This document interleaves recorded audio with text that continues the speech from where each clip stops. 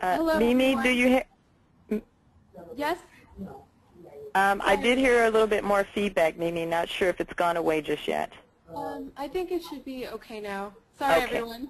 Uh, thank you for joining us for our webinar, Is Your Wardrobe Affecting Your Pay? presented by KL Moore. My name is Mimi Kim with Ivy Exec. Before I introduce our presenter, KL Moore, I'd like to quickly go over a few logistical items to make sure our webinar runs as smoothly as possible. We will be recording the webinar and we'll send you a link to a stream of the recording as a follow-up. For the audio for today's webinar, you'll notice that you have two options. You can use either the voice over IP option or dial in directly with the number provided in your registration email. If you have any trouble with your audio during the webinar, send us a quick note through the questions tab. We've muted everyone this evening to ensure good sound quality. At any point, should you have any questions for KL, you'll see a questions tab on our control panel, and you can send them to me directly. I'll be happy to share the questions with KL at the end of the webinar. We will also have a few interactive poll questions during the webinar so that KL can get a better understanding of who is on the call and through that tailor what she presents. Please be sure to provide your input to these poll questions. Now on to our presenter. KL Moore, MBA, is a professional image consultant and seminar leader who teaches business owners and professionals how to tailor their visual image to business success. As a former electrical engineer and prior boutique owner, she infuses her corporate experience with her fashion expertise to help clients understand the link between personal appearance and financial success. She shares firsthand knowledge of how to convey the right message through attire at any weight, shape, or height. Her business, KL Image Group, is a professional image consulting firm which specializes in corporate training, seminars, and individual consultations. Please welcome KL Moore. Thanks so much, Mimi, for hosting me on today, and I want to personally thank Ivy Exec for allowing me to share this topic with you, the listeners. You know, I spent the early part of my career as an electrical engineer in manufacturing for a biotech company. No, I didn't dress the way I do these days uh, because I worked at a plant in which I had to wear a hard hat, steel-toe shoes, and safety glasses. I worked with an array of people who had pretty much every qualification for success. They were educated, hardworking, dedicated, and very competent and technically astute. But somehow, they didn't get the key assignments, recognition, or promotions they thought they so richly deserved. They were convinced that as long as they did a good job, dressed sensibly, and stayed out of harm's way, they were bound to move ahead. This was far from reality. Now, today as an image consultant, when I work with clients one-on-one, they all have one common goal. They all tell me that they want to look more well put together and that they want a wardrobe that'll spruce up their image and pretty much they want to feel more confident because in essence, when you look good, you feel great. Yes, clothing certainly can change how you look and how you feel about yourself inside, but it also tells others how to feel about you, how to treat you, and eventually the look good, feel great message translates into more money in your pocket. So on today, here's what I plan to share with you. First of all, I'm going to talk a little bit about the relevance of imi image. Um, I'll go a little bit into business casual, how it sort of differs from business appropriate, although that's a totally different webinar that I offer. So we'll just kind of scratch the surface on that today. I'll also talk about the secrets of well-dressed professionals, why people desire to look tall, what your hairstyle says about you, and a couple of image updates that yield the highest returns. Now, you may be shocked to learn that image is actually a tangible asset. Its impact has been measured by countless of researchers in the past. And when you look specifically at wardrobe, here's the stats for you. 63% of senior execs agree that employees who wear more professional attire do advance faster in their careers. You see, they're actually hired quicker, promoted faster, agreed with more often. and they receive preferential treatment relative to their ill-dressed peers. And because of their more refined wardrobe, these people also appear more attractive than their competition. Now, when I talk about attractiveness, you may be thinking more so along the lines of beauty. No, attractiveness is totally different from beauty. Beauty gets into the symmetry of the face and the size of the eyes and the lips and the bone structure. I'm talking about attractiveness. Attractiveness is simply defined as two things, being in good health as number one. That means you have the appearance of being really young and energetic or looking younger than you actually are. And two, being well put together. So again, attractiveness is one, having the appearance of being in good health, and two, having the appearance of being well put together. So you can work to make yourself appear more attractive via wardrobe, hairstyle, makeup, weight, body language, all of those things. Now, let's take a look at how image actually impacts the money you make. As I mentioned, image is a tangible asset, and yes, it certainly can impact the bottom line. What they found is actually both men and women benefit from having a more refined appearance.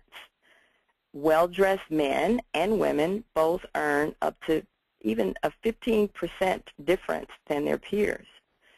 And then when you look at what's called the penalty for plainness, let me, let me sort of explain that to you. Well-dressed men and women range on average, say, 5% above those that have a sloppy, plain, or unfashionable appearance. Now, the penalty for sort of appearing plain, okay, you wear khakis and a white Dockers, you wear khakis and a white polo shirt to work every day. You know, you just have a really basic appearance. The, the penalty for plainness is 9%. That far exceeds any premium for beauty or being handsome. So if you do nothing to refine your image, you have the potential to lose 9% of your income. But if you make even the slightest change, you have the potential to gain about 5%. Please note that the consequence for doing nothing to your image, if you need to, far exceeds the benefits for doing just a very little to enhance it. We've also found that women in corporate should avoid appearing too attractive. So remember again, it's just the small things that sort of give your image a boost.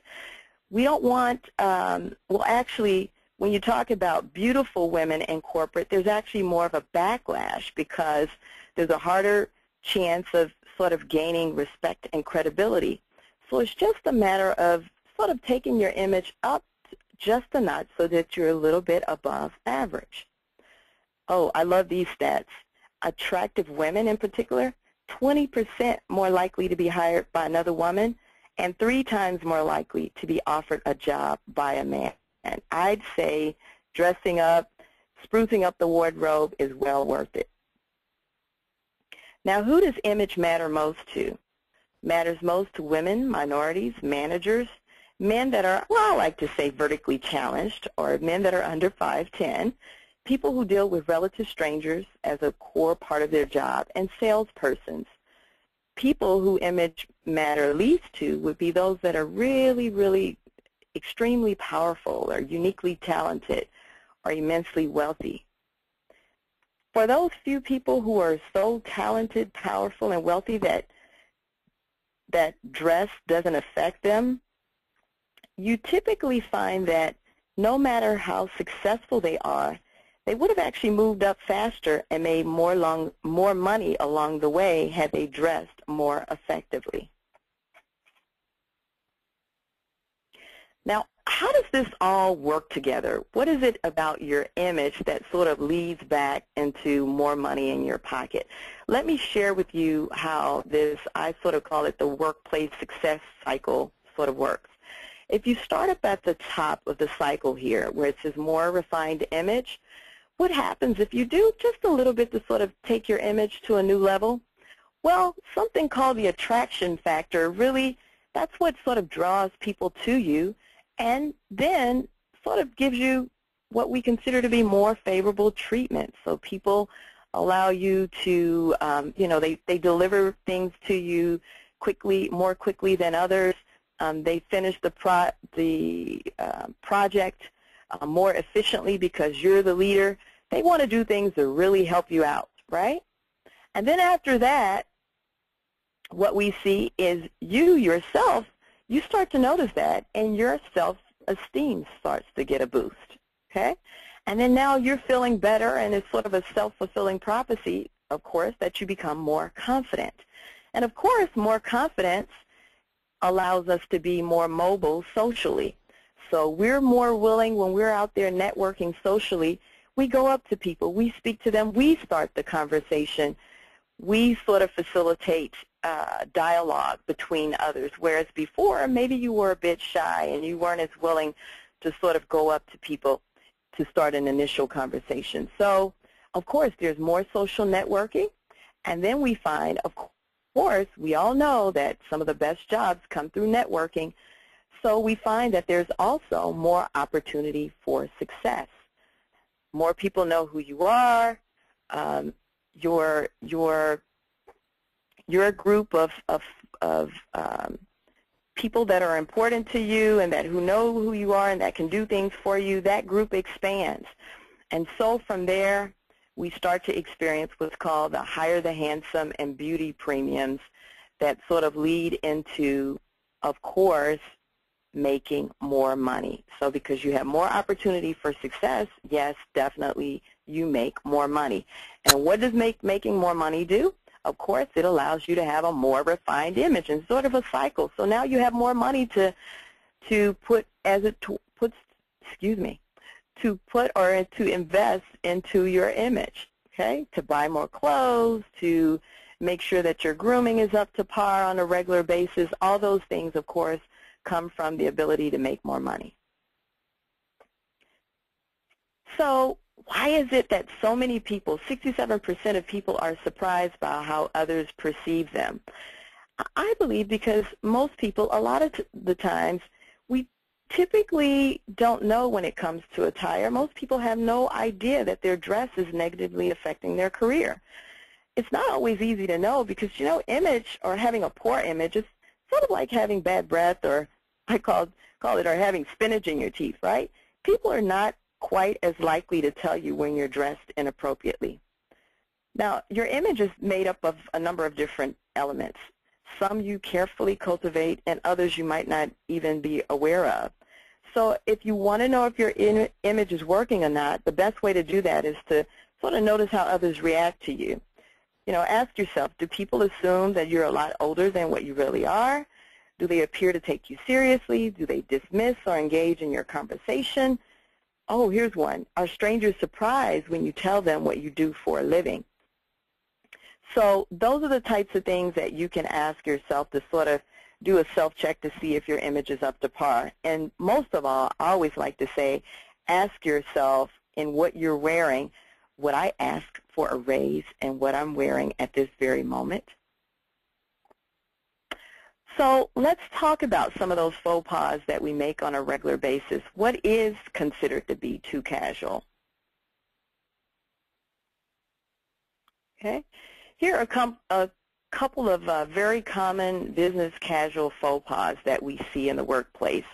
Wearing denim, sneakers, you know, the sagging pants. For ladies, it would be capri pants, sleeveless tops, mules. That would be the sandals that she has on and of course athletic wear.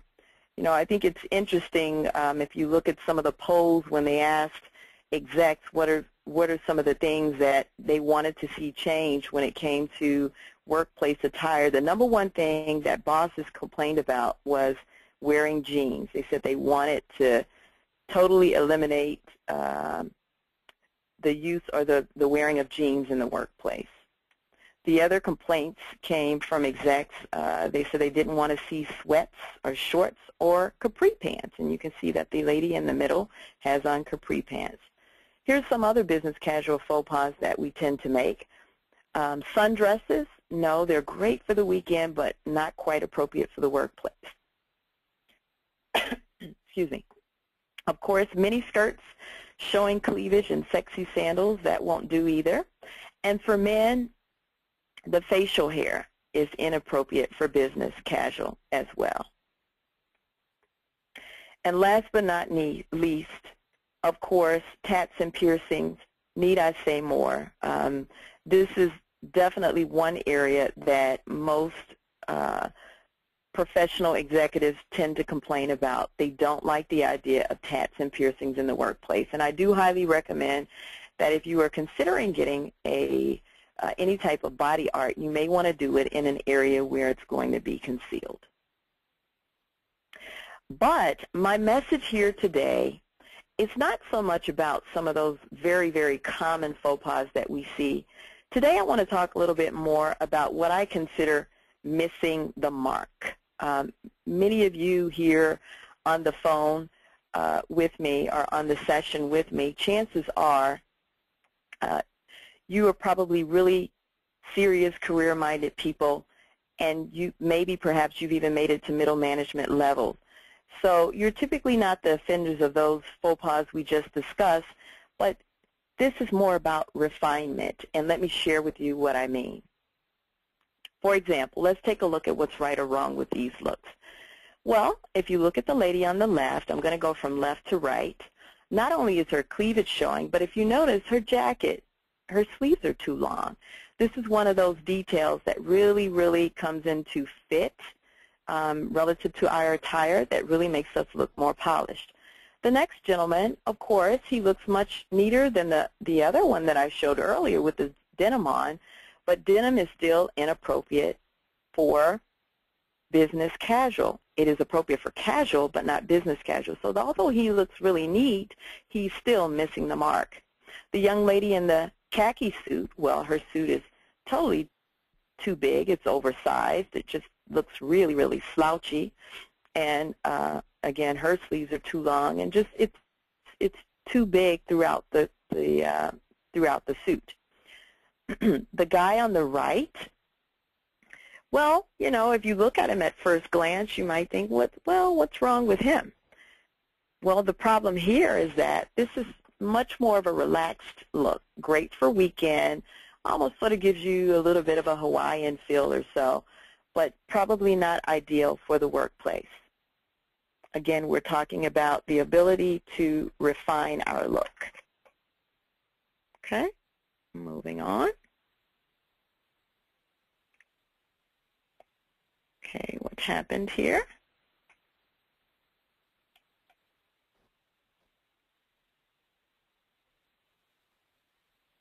Okay, having a little bit of problems advancing the slides here. Let's see. KL, you may want to end the slideshow and then restart it. Yes. Okay. Maybe with a right click. Yeah.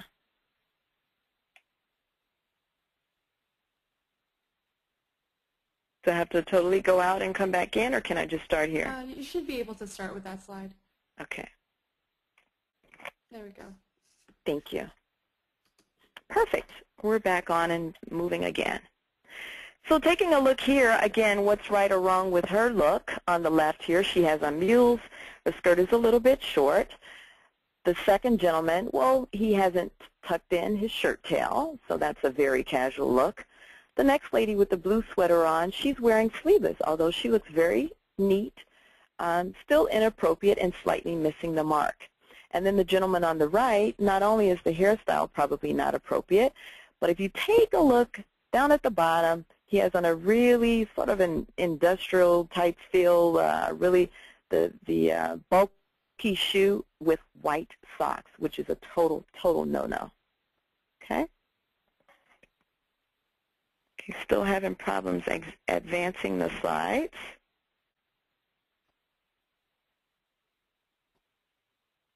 Mimi, any suggestions? Do I do I have to keep? You shouldn't have to. Um, could you try doing that again, exiting out and, or even just right click and go to the next slide? Okay. Okay, moving on. The gentleman on the left, well, he's wearing short sleeve, and for you men that are joining me on today, if you're going to wear a short sleeve t-shirt, you definitely need to have a jacket on top. The lady standing next to him, the problem with her outfit is that she actually has her sleeves are showing, uh, extending beyond her jacket. And for those of you ladies who may not realize it, that is not the proper look for women when you talk about proper sleeve length fit. Um, our sleeves should not extend beyond the jacket. And conversely, if you look at the gentleman standing next to her, the problem with his outfit is that his sleeves should extend about uh, about a quarter or a half inch um, beyond his jacket. So guys, yes, you do want the sleeves showing beyond the jacket. Women, no, no sleeves showing beyond the jacket. And then last but not least, the gentleman on the right, he has, has on a short sleeve shirt with a tie. And for those of you who may not realize, that's also a no-no. If you're definitely going to be wearing um, a tie in the workplace, um, long sleeve definitely is the way to go. Okay, so let's take a quick look at the difference between business casual and business appropriate because, you know, I like to think of it as it's the style that gets you into middle management, which is sort of high authority. It typically won't take you to the top. So the rules start to sort of change for those of you that are sort of starting to think about C-level positions or really getting into the executive suite or continue to move up the ladder. So I want to sort of just define what business casual is. Business casual is pretty much uh, coordinated bottoms and tops. Um, you know, for ladies that could be a pair of slacks or a skirt and a matching top.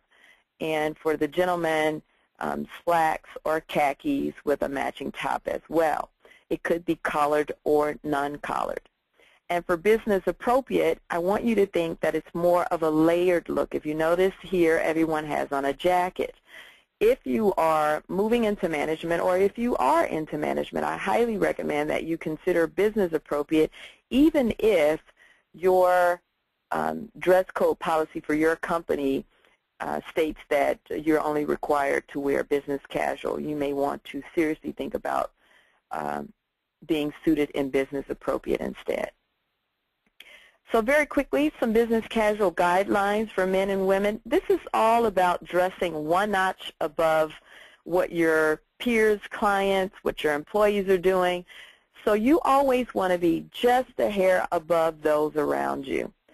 Um, so for example, dressing more formally than your peers, one notch up from your clients, and more refined than your employees dressing better, of course, than the competition and looking more polished than your audience, particularly if you are presenting.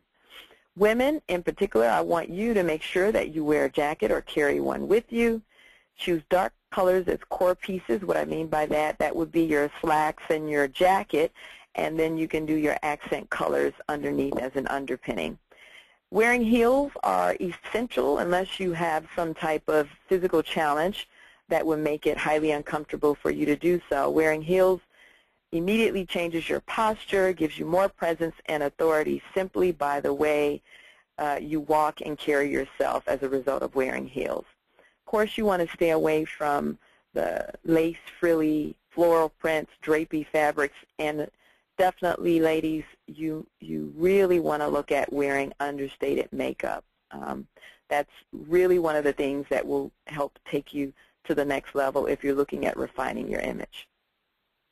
So what is it that well-dressed professionals do? If you look at folks that have been really successful of sort of moving through the ranks and also having a great appearance, what is it that they have mastered uh, that other people tend not to do? First of all, these people understand their colors. They understand how to wear what's called their wow colors. You want to wear wow colors as accents in accessories such as scarves, tops, and handbags.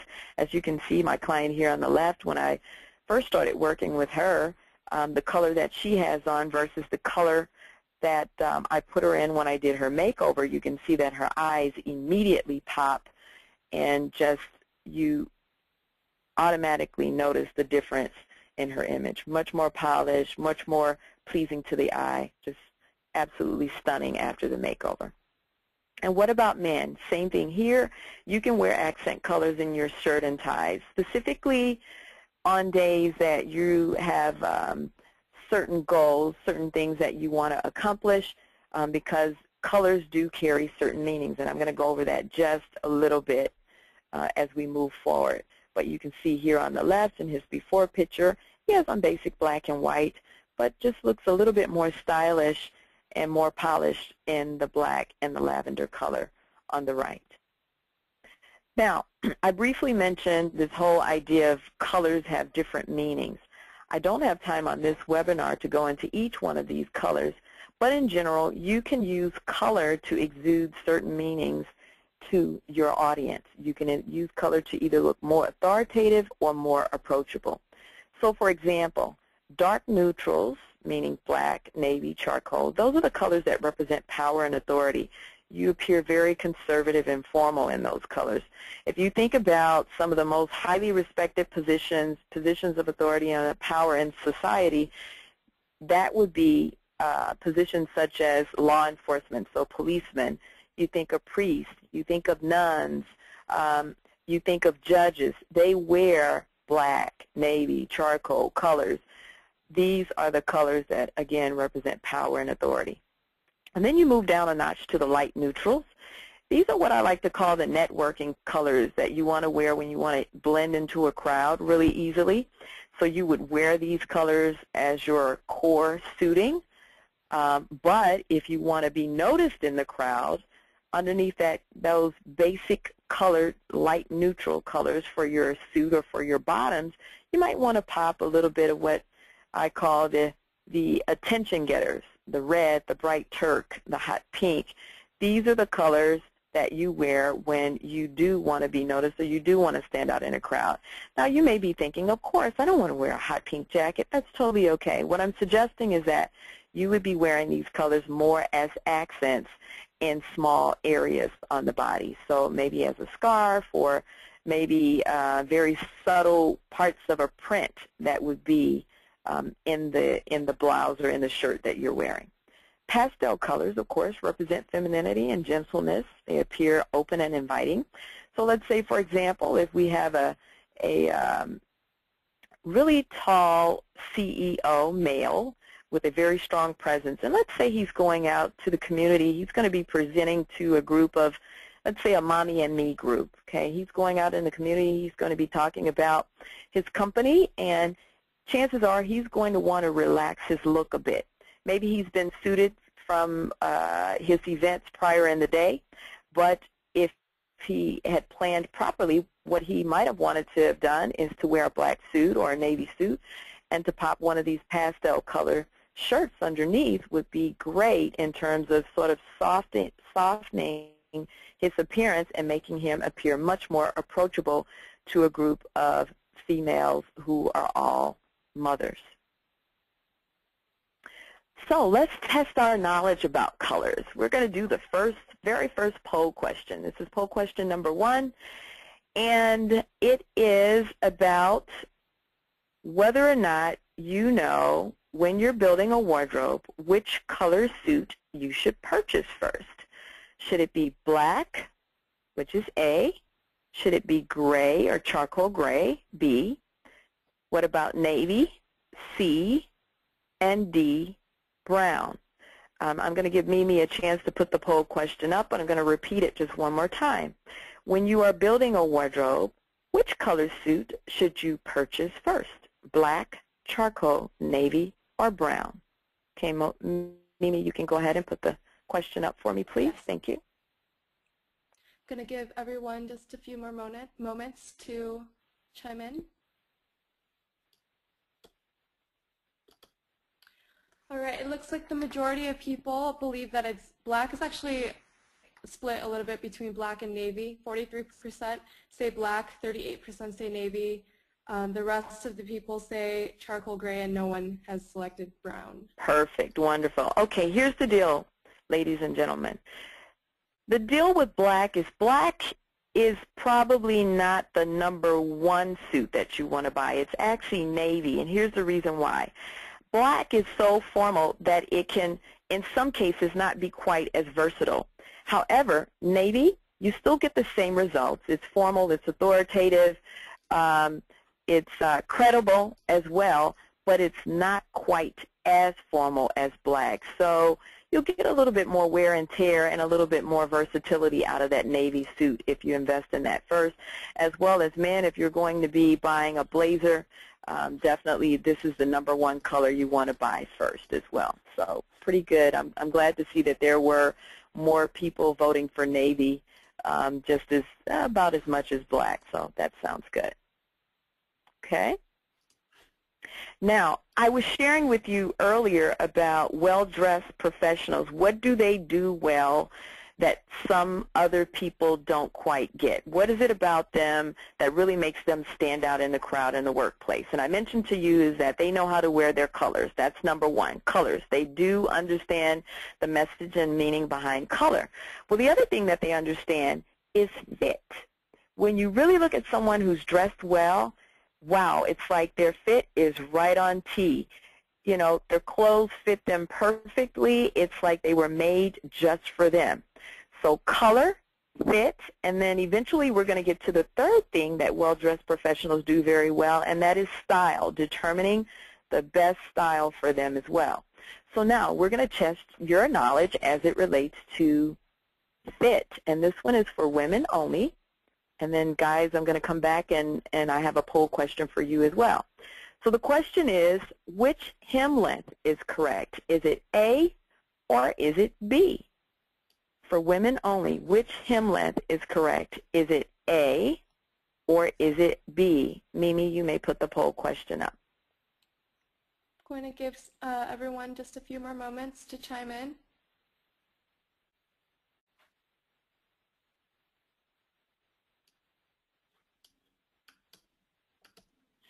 Seems that the majority of the people believe that picture A is correct. Actually, picture B is correct, ladies.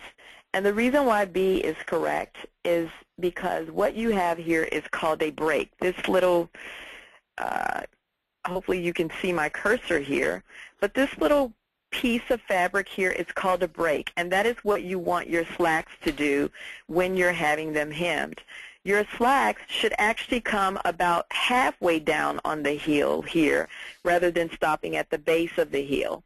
And what this helps to do, it helps to elongate your look and it doesn't make you look quite as choppy. It doesn't break your look as much. And you'll see another picture of that, ladies, in just a moment. By the way, men, this applies to you as well. Your slacks should be hemmed with a break as well. Very same thing. And ladies, you can see here exactly what I'm talking about. The photo on the left, the slacks are actually too short. You can see her foot is exposed, and it just sort of looks choppy. She doesn't look, it, it breaks up her nice, clean look that she has on the second picture. You see that picture, or the photo on the right, her slacks are hemmed with a break. You see the soft bend here? Okay, that's called the break. Nice, long, even, and again, we don't have that uh, break-in consistency here. So she just looks absolutely more lean and slim. Okay. Okay, men, this one's for you. Poll question number three, men only. Which jacket and shirt collar fit is correct? Because again, remember we're talking about refining our image um, and give them a couple of minutes, Mimi, while I'm still going to elaborate a little bit. But we're talking about refining our image, going to the next level, making sure that we understand color, fit, and style. So perhaps this may seem a little bit trivial, but it's actually something that's really important to men when you're wearing a jacket with your shirt because this shows your knowledge of dress and attire. It shows whether or not you understand how to buy a suit or how to buy a jacket, and it also acknowledges your level of details. So which jacket and shirt collar fit is correct? Is it A, B, C, or D? Mimi, you can put the poll question up.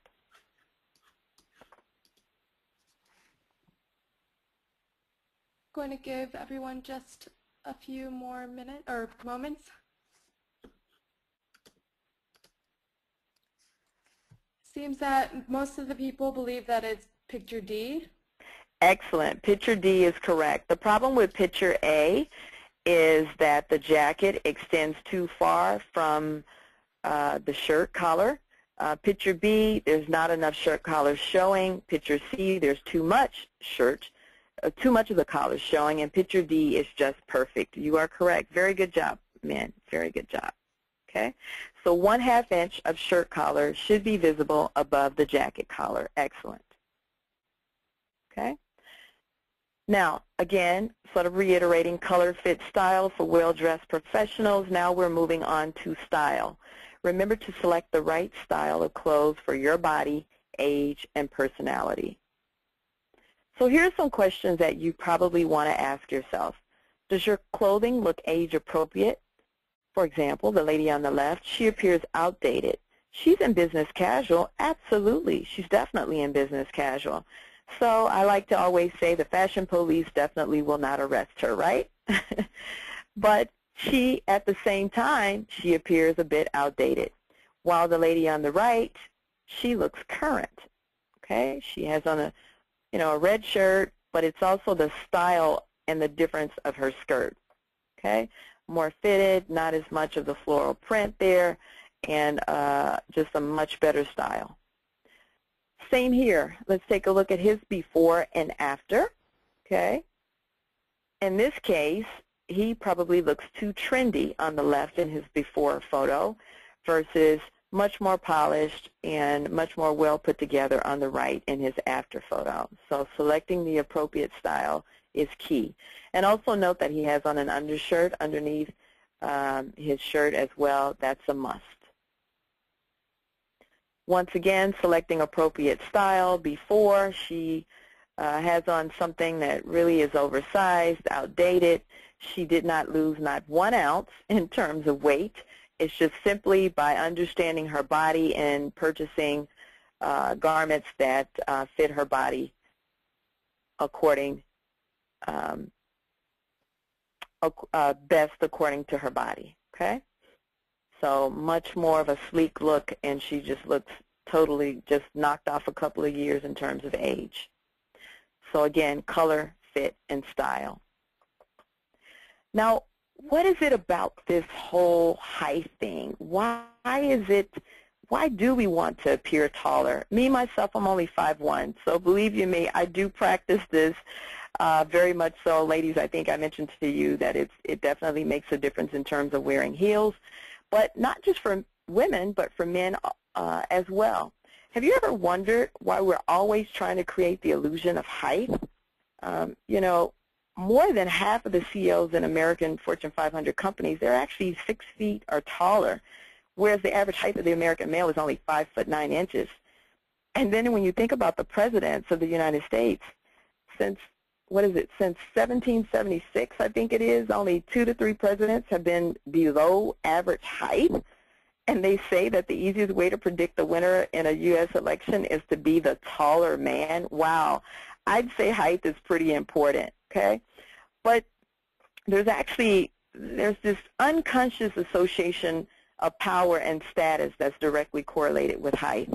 Uh, so height, although it's not as significant for women, it has a tremendous impact on men. Uh, and in general, taller people make more money. They have, they're perceived to be more powerful, and they are also perceived to have higher social status in life as well. So um, we know that all of those things are not necessarily true. We know that people that are tall aren't necessarily more powerful, but it's simply the illusion that our mind associates with height. So here are a couple of what I call tall tips for women things that you can do if you want to sort of create the illusion of height.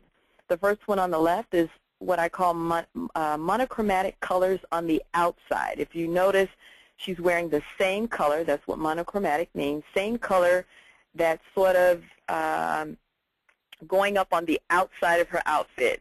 So the outline of the jacket as well as the slacks. Whereas on the inside, she's popping color. If you do the reverse, if you're wearing um, if you mix and you put uh, the white jacket on the outside and a black shirt on the inside, that would not be as slimming or would not give as much of the illusion of height. Also, vertical stripes and not wearing cuffs. Okay, those are things that make us appear taller.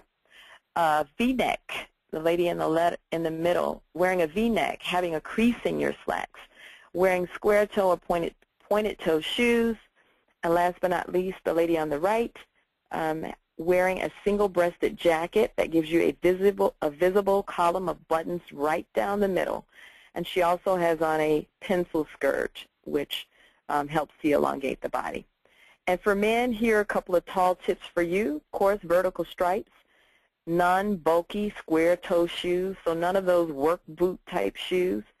Monochromatic colors, um, looking at the gentleman in the middle, and um, short haircuts uh, and creased slacks, having a crease in your slacks down the middle. Anything you can do to sort of create that line, a vertical line on your body, sort of gives you more height. Uh, wearing a skinny tie and slacks, of course, hemmed with a break. So if you're wearing your pants too short, immediately that makes you look shorter. And what does your hairstyle reveal about you? Okay, what is it? We're talking about style here. Remember color fits style?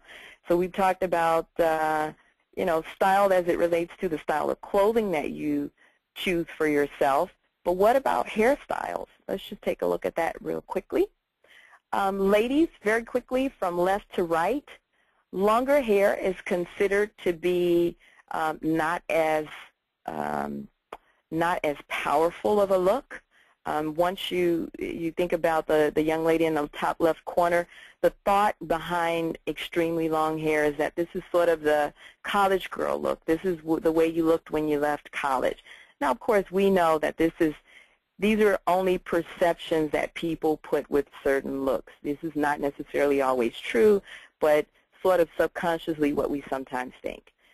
Okay, if you're wearing very curly, flowy hair, sort of a romantic style, you're considered to be much more feminine and um, certainly um, gives you probably um, doesn't give as much of a powerful look as what they consider mid-length hair, mid to short-length hair.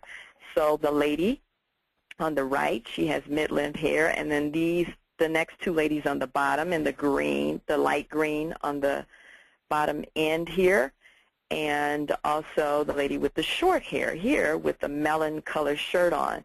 So mid to short length hair is perceived to be much more effective as it relates to women, particular as women um, age as well.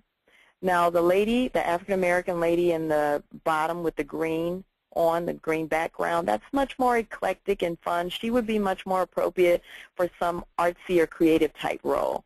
And then last but not least, I wanted to put in here um, someone who has is a little bit more seasoned and she started to gray. Um, because gray hair for women is totally different uh, for as it relates to gray hair for men in the workplace. Uh, it's sort of a twofold for a man that's graying. The, a, a male that has gray hair, people assume, one, that he's not quite as energetic, but they also assume that he may be more mature or more reliable. But a woman, when she starts to gray, unfortunately, it's sort of perceived as she's some, somewhat over the hill. But I always recommend once you start to get to a point where um, it's, it sort of becomes hard to keep dyeing your hair. I believe that it certainly works in your favor to go ahead and allow it to gray because it just becomes much more of a hassle and not quite as appealing when when you're having to um, sort of cover up gray on a weekly basis. So if I have any of my folks on here that are sort of dealing with that, um, that would be a little bit of feedback there. And then, of course, hairstyles, looking at the same thing for men, having longer hair that's uh, more with more relaxed curls in it. That's more of a romantic look, says he's much more approachable, much more friendly. As we move from left to right, we short, sort of get into the shortcuts, which are um, tend to be perceived as much more authoritative looks. And then down at the bottom, we have our fun, creative guy down in the bottom left corner who, of course, if he's uh, looking at a more engaging role that where you need to be creative, something in terms of acting or or something where he really needs to be a people person, real fun, real creative, that would be appropriate. And then the last two gentlemen, um, again, the one on the end, again, we already talked about graying for men. And the gentleman that's the hairline is starting to recede here, um, I always recommend that at some point it's just better once you go ahead and allow the hair to, um, you can go ahead and get it cut and go bald. It works much better in most cases once the hair gets to a certain point in terms of receding. Okay. So again, talking about size and, and really understanding the difference of how people perceive us, whether or not we are a male or a female. We talked about some of those differences as it relates to gray hair. We also talked about height as it differs for men versus women. And now I want to talk a little bit about weight gain for men versus women. Um, you know, for women, this is much more of a challenge as we start to gain weight.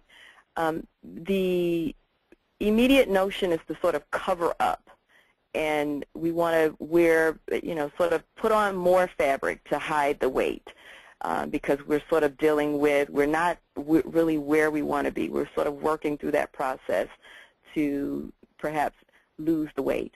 And here, here is my suggestion. Um, I really don't recommend oversizing women because here's what happens.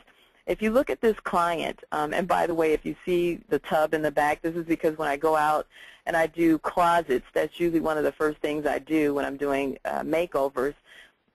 And um, I have people try on key pieces in their wardrobe, and that's what she's doing. And so we're standing in front of the mirror in the bathroom, and so that's why you see the, the all the tile and the tub in the background. So, But at any rate, I want you to take a look at her left arm and her right arm.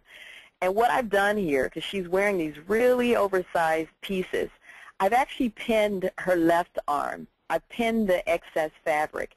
And you can see how much more slimming it would be if she would not have worn something with such excess uh, fabric on it. Versus her right hand, you can, or her right arm, you can see this is the nat natural state of the garment. And she's simply adding more weight. But again, look at the left arm that I've pinned there I pinned the extra fabric, and it's just much more slimming. So I want to caution you um, to sort of stay away from oversizing when you're going through that mode. Um, you don't want to wear clothes that are tight, but sometimes it's better to go with clothing that's slightly fitted. And then here, conversely, this is a situation with a client um, where she's kind of going through some weight challenges and sort of denying the weight gain. So the jacket is too small. And here's my recommendation here. Uh, you know, you start to notice that the clothing, you're having challenges button, buttoning the jackets and different things like that. My recommendation is just, just to simply allow the jacket to stay open. It would have been much better. But by her buttoning the middle button there, she is bringing, a, bringing attention to the fact that the jacket is actually too small. So um, in her after photo, you can see, yes, she does look more sleek, um, but she did go through a weight loss program. Um, that was her personal uh, desire. Uh, I, I, I believe personally that uh, most people can look great at any weight, shape of height or height as long as you understand how to dress your body. But that was her choice. She did want to um, lose a couple of pounds, and you can just see that uh, here she looks much more sleek in terms of her after photo. So where do you go from here? So far we've talked about, you know, understanding that as you move up the ranks, you're going to need to take it up a notch. It's all about refining your look, making sure that you understand how to be a well-dressed professional. You understand what colors work best on you. You understand the proper fit for garments, and you also understand what styles work best for your body. So which image updates, if you were thinking about refining your image, which updates yield the highest returns? What is it or where do you want to invest your money? Here are a couple of what I call low-cost image boosters that you can do relatively quickly. Number one, get a new hairstyle. Two, update your eyewear. Three, adjust or add some color. And women, of course, um, starting to wear, you should start to wear makeup. But the whole concept, if you look at all four of these, is focused around the face. face. And what I want you to do, if you're considering refining your image, just simply start with what you do with the face. Refining your, or excuse me, not refining, but framing your face with the right color. So color comes free. You know, when you're out there selecting between different shirts or different blouses, most of the time you get to pick which color that you want to buy. And it's just a matter of understanding what what's your color. And wearing colors that are inherent to your body, wow, it just makes a difference.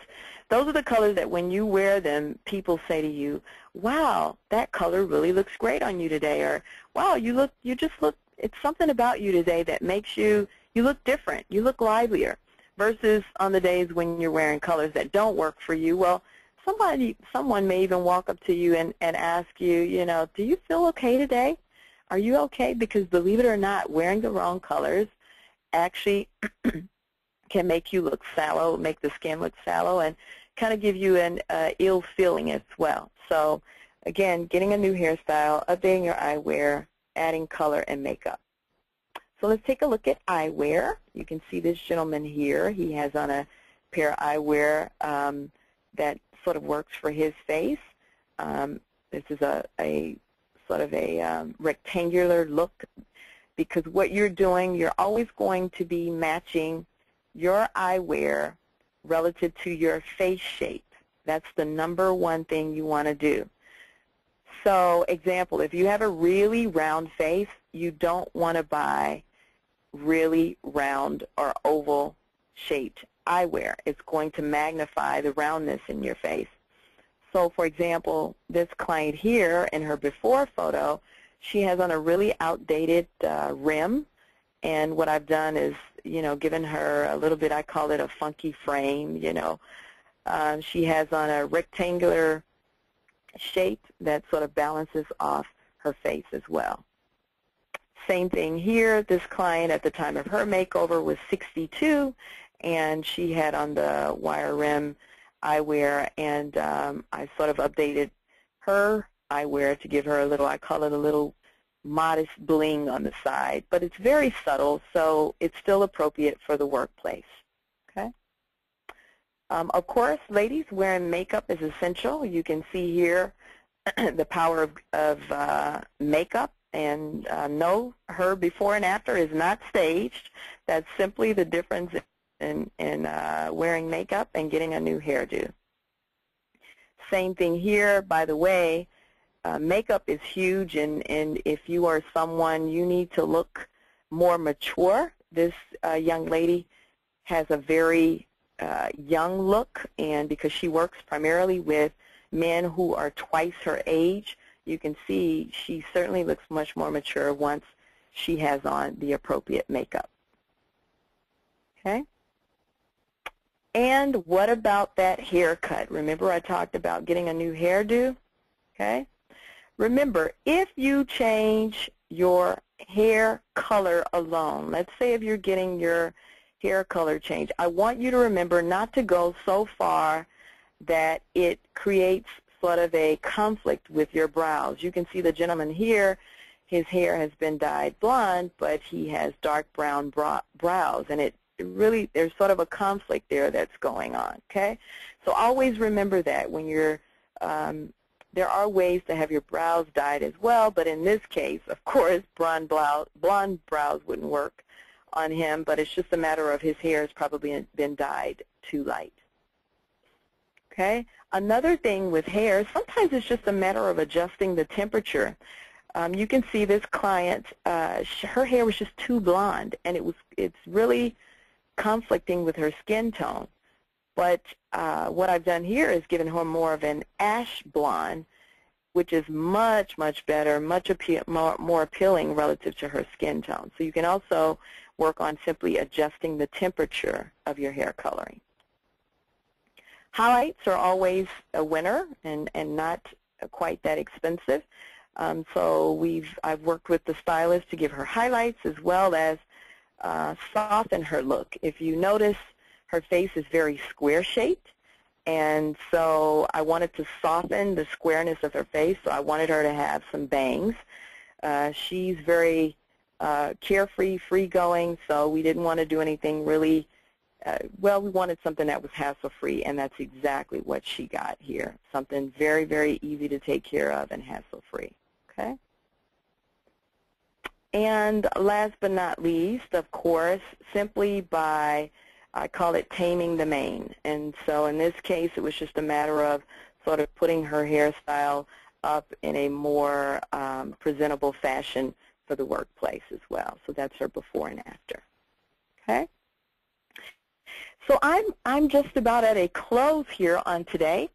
And um, I want to encourage you to take what you've uh, seen here on today and start just by doing small things because in many cases it's the small changes that motivate us to do the larger things. I think I, I shared with you the client that was 62, what happened to her once she had her uh, small bits and pieces of her makeover.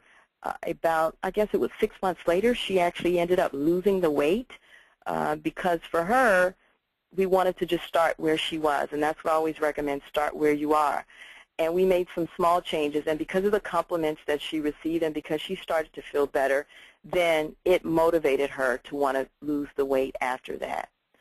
So if you'd like to learn more about what I have to offer, I've got some free stuff for you here on today.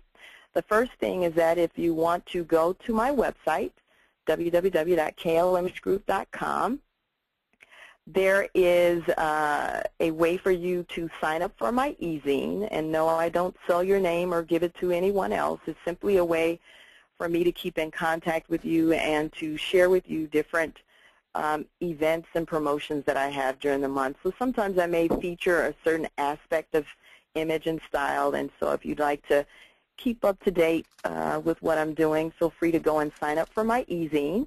You will also get a and a report called How to Project Your Best Image for Social Media and Business Headshots. When you do that, um, I'm really, really big on coaching people through the photos that they put out on their LinkedIn profile. Um, for those of you, I hope you are using LinkedIn as a way to um, sort of network and also to conduct your job searches but uh, this really will help you be able to take a very powerful headshot. So www.kllimagegroup.com.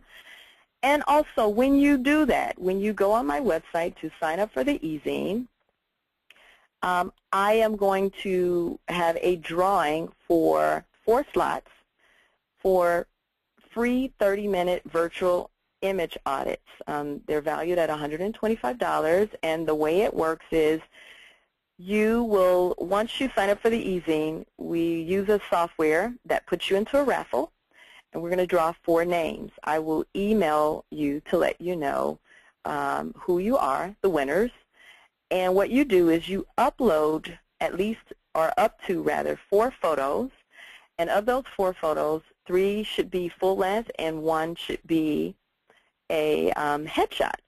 And what you probably want to do is if you're in the market, if you're doing some job search, you may want to do one with a suit on. Maybe it's even your interview suit or whatever it is that you'd like to get some feedback on. These are the photos that you want to upload. You want to make sure that they're recent photos, by the way, as well. Uh, photos that are outdated don't uh, yield the best results. But once you sign up for the e-zine, you'll get put into that uh, drawing for the raffle, and the four slots are on next Tuesday, a week from today, October 26th, from 5 to 7 p.m. Pacific Standard Time. So again, some of you are probably Eastern or Central, but just remember Pacific Standard Time. But you'll get a reminder telling you if you are one of the winners, okay? And at this time, I will entertain questions and answers. Um, for those of you, if you want to purchase a uh, virtual image audit, you can do that at uh, there's a different site. It's called book.kllimagegroup.com. That's where you go to book a virtual image audit if you are not one of the ones that win one. Um, the $99 pricing is specifically for um, Ivy Exec um, members only. Okay, So anyway, Mimi, at this time, I would love to entertain any questions um, that may be out there waiting for me. Yes, we actually have quite a number of questions, so we'll try to get through as many as possible. Um, okay. So the first question is, if your office permits jeans, how can you wear them best? You should wear a dark wash. That's number one. Uh, make sure, of course, they're not wrinkled or torn. I also like to do there. I'm not sure if that's a male or a female asking, but for women, there are some uh, denim style styles that are actually made like um, trousers. They're they're like trouser jeans, is what I would call them. And uh, as a matter of fact, let me see if I have a picture of one of those. No, I don't. I thought I had one tagging on there. Sorry about that. But you want a dark wash, and you definitely want something that's more of a trouser feel to it. Make sure it fits on the waist. There, it's not sagging, but wash is very important. The light, light wash is much more casual and much more of a weekend feel to it.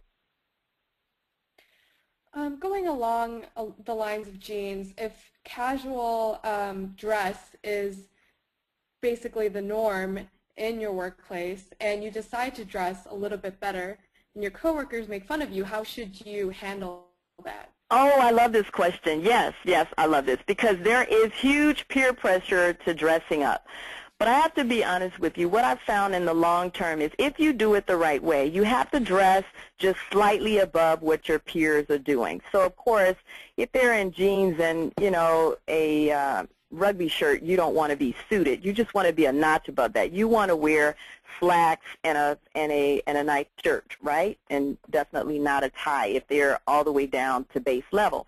But my point is this. I find that over time, people sort of start to respect you for it. Um, I think if you do it in a way and you share with people, you know, you tell people that this is what I need to do for me. You know, hey, look, I just feel better when I dress this way. It really helps me be more productive, and this is what I need to do to um, be su successful in my day. I feel that people really start to respect you for it. But I do understand there is great peer pressure in dressing up. But you do have to be strong and, and uh, stand your ground, remembering what your goals are. Everybody doesn't have the same goals you do. And so you should never allow yourself to succumb to their standards because of that pressure. You have to remember where you're going, and you always want to dress for the job that you are aiming for. I know that we covered men's collars and jackets before, but what about for women? Should women's collars go inside or outside the jacket? Oh, women's collars. Okay, the mm -hmm. shirt tails. Um, women's collars, you can wear it, it. Really, in most cases, you typically wear them on the outside. There are a couple of more stylish jackets that will require you to wear it on the inside but traditionally it is worn on the outside. For men, so again, so so again, just to reiterate, that would be I'd need to have some photos to kind of show you um, some looks of some jackets where it's a good fit for wearing it on the inside. But that's more of a, a style trend than more of a of the traditional business look. For men, what are your thoughts on high quality sports coats rather than a blazer? And this would be a tailor jacket with a pattern.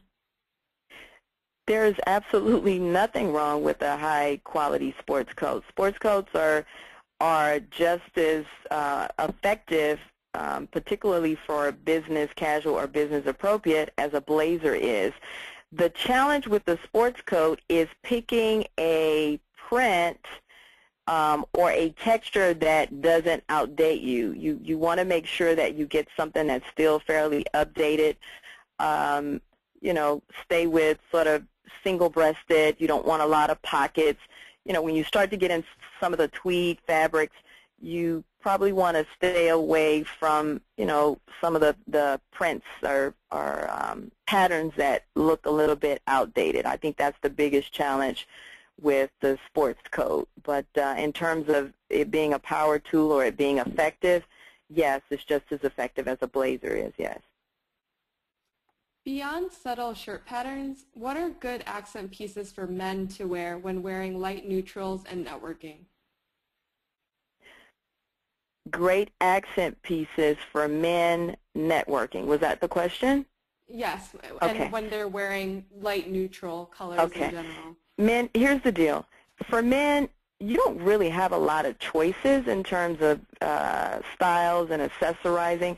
I mean, there are things that you can do, making sure that you have on a really nice watch, uh, making sure that uh, you know your jewelry is nice and clean, and you're not even you're not even doing a lot of jewelry. You pretty much just have on your wedding band or something of that nature. But the point is, is that for men, it's all accessorizing is pretty much through color. So you're going to do that through a colored shirt or through the tie. Um, and when I say color, I, I want to be clear that I'm, I'm not talking about, you know, just really loud, vibrant colors per se, but the soft pastels, they're great for men in terms of networking. And depending on your audience, um, if you understand the meaning of certain colors, it really does work to sort of um, maneuver relative to, to the color shirt that you're wearing relative to the audience that you're working with as well. Remember I talked about those soft pastels for working with women. Um, also, for example, blue, the baby blue is great. It speaks reliability. Um, it speaks trustworthiness, so baby blue is great for that. But for men, pretty much accessorizing comes through the tie and the color of the shirt. Could you define smart casual?